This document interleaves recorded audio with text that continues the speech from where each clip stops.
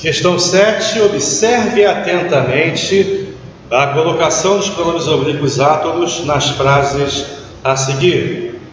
1. Um, Vinham-me acompanhando vários amigos.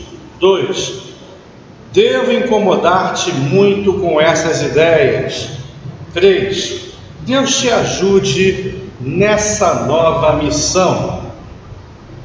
A colocação está adequada em qual ou em quais das frases?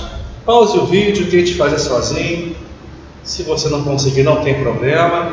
Daqui a pouco você vê a resolução. Vamos lá. Número 1. Um, locução verbal com o pronome enclítico ao verbo auxiliar, sem palavra atrativa, então correto. Número 1. Um, vinham me acompanhando, sem problema nenhum, correto. Poderia ser também vinham acompanhando-me, já que o gerúndio aceita a ênclise. 2.